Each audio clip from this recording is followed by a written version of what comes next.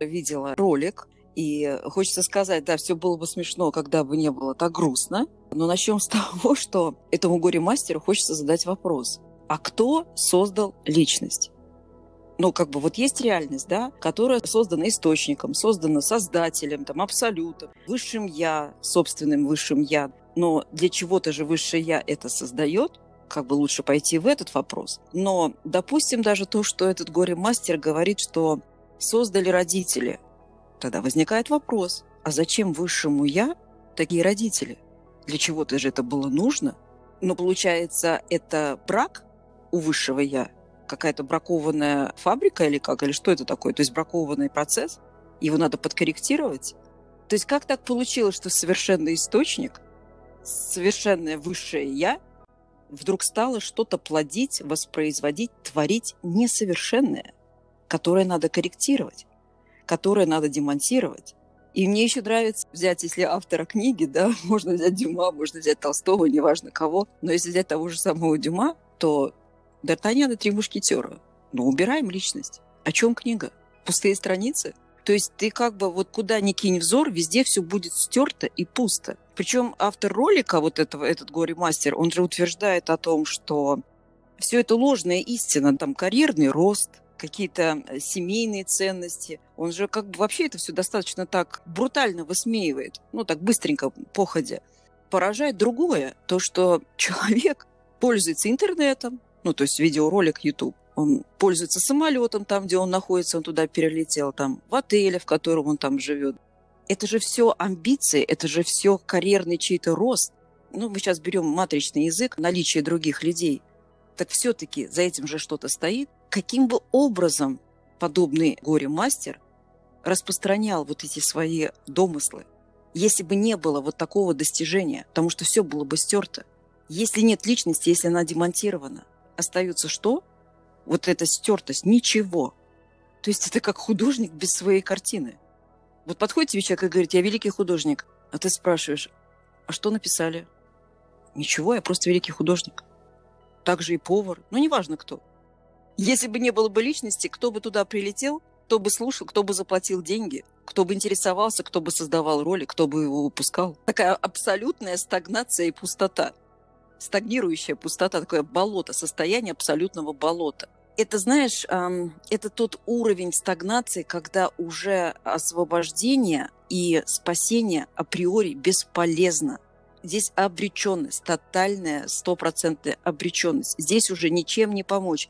Можно было бы даже сказать, что жалко тех людей, которые попадают на такие сатсанги или на такие ретриты. С другой стороны, принцип резонанса. Человек имеет то, что он хочет иметь, или, или имеет то, что его имеет. И если такой был запрос, ну, значит, человек достоин такого ответа, достоин такого резонанса. И он именно подписался под то, что он хочет это иметь. Ведь ключ заключается не в убиении, не в том, чтобы что-то демонтировать и стирать. Это, знаешь, была же такая известная фраза «борьба за мир камня на камне не оставит». Вот это революционные вещи, когда убить, и будет придет что-то новое, что-то лучшее. Всегда любая попытка стирания, демонтажа, какой-то борьбы, какого-то насилия, ничего кроме совершенствования того же самого, что было демонтировано – ничего не произойдет другого. Ключ не в борьбе, не протився злому, ибо оно множится. Ключ в невовлеченности. Ключ в скольжении по поверхности реальности, то есть ходить по воде. Не быть обусловленным, не быть вовлеченным. Кто тот внутри человека, кто хочет другую личность? Это же так очевидно, что заигранность в Бога, именно заигранность в божественность, вот эту, которую человек напялил, как голый король, несуществующую мантию, заигрывается в то, что я не личность, но я могу выбрать другую личность. Это и есть, по сути, по факту, личность играется в обезличивание. Личность играется в иллюзию того, что можно выбрать другую личность. Само наличие личности, вот этого представления, этой парадигмы, этой программы эго-ума предназначено именно для обнаружения сознания, для обнаружения взаимосвязи между менталом, между эго-умом и сознанием что такое чистая осознанность, а человек хочет сам инструмент, сам механизм уничтожить. Я говорю, что это как у художника отобрать право писать картины и сказать, что ну докажи теперь, какой ты художник. Он говорит, сейчас легко. Здесь неведение неведением погоняет, и перекладывание ответственности просто сквозит тотальное. Ведь не случайно процветают всякие гороскопы, процветают кармические какие-то вещи, там байки про карму, процветают, соответственно, там реинкарнации и все такое. Это завуалированная форма, вот такой высший пилотаж перекладывания ответственности себя на что-либо вовне. И вот то, что есть в этом ролике, это как раз один из таких видов перекладывания ответственности. Когда я куда-то приду, заплачу, и мне что-то дадут и что-то сделают. Более того, вот поставить себя еще в зависимость от того, чтобы найти такого горе-мастера, добраться до него, потом еще ждать, когда тебе демонтируют то, что априори никогда не должно быть демонтировано, потому что ты тогда навеки инвалид инвалид духа, потому что весь тот механизм, инструмент как бы будет стерт и удален. Понятно, что его стереть невозможно, можно поиграться в это, но даже попытка думать в эту сторону, что-то предпринимать, травмирует человека настолько, искажает вот всю суть процесса, что там даже нету намека в дальнейшем на прозрение и освобождение. Вообще просто даже узнавание, что ты зашел не туда, даже эта потенциальность теряется. Это как человек, который вот, это же тоже самый горе-мастер, который говорит, без проблем я могу вас сделать просветленным. Но представляешь, до какой степени собственная личность заигралась потакание эго, потакание ЧСВ. То есть уже границ ЧСВ просто не видно. Человек настолько уверовал, что, в принципе, уже его ничего не спасет. Но печальность заключается в том, что это не спасет и тех, кто к нему приходит.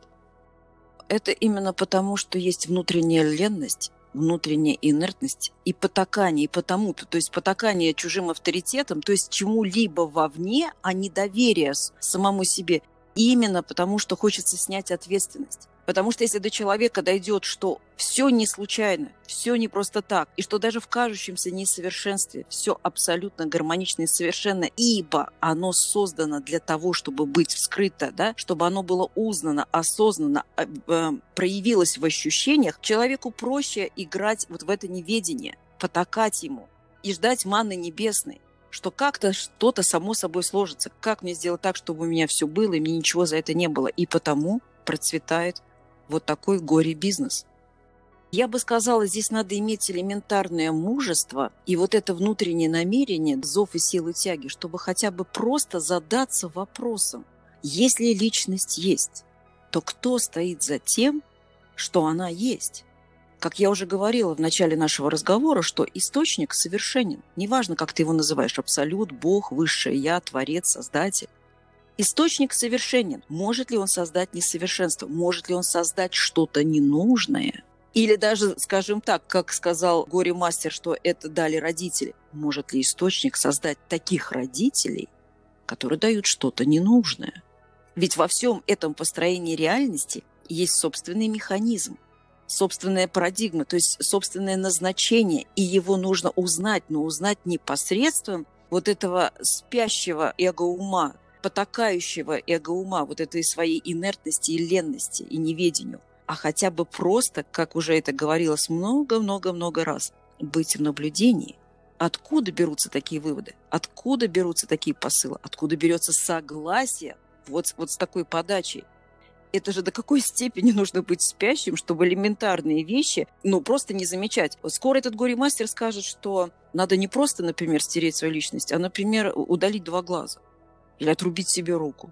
Помнишь, уже было в одном подкасте, когда мы говорили про лоботомию, когда сознание и осознанность искали через просверливание черепной коробки. Я думаю, что болезненные ощущения останавливают, но, в принципе, если так дальше будет продолжаться, ну, что-то придумают явно, что отрезал себе ухо, и все, нирвана.